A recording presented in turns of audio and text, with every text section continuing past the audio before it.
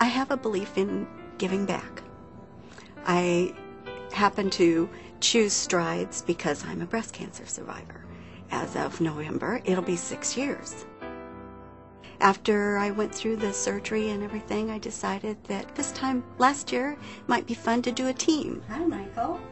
This is Sherry. So I called together all my cohorts at Colliers Turley Martin Tucker and we formed a team. Great. Okay.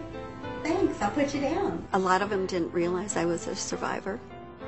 So um, once they found that out, it, it, it made it totally different for them to, to walk. Husbands and spouses get pulled in too, so that it's a whole team effort and a family effort. We have little ones that come and walk with the team also.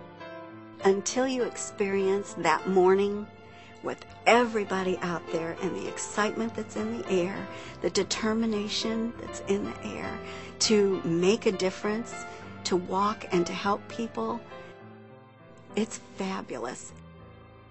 It makes me proud to work at Colliers Turley Martin Tucker, knowing that they stand behind their employees and they support their employees when we go out to do something like this.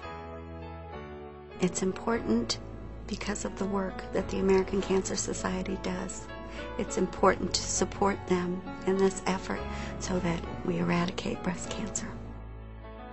And that's why I give back and that's why I fight because I believe in the American Cancer Society and I believe in making strides.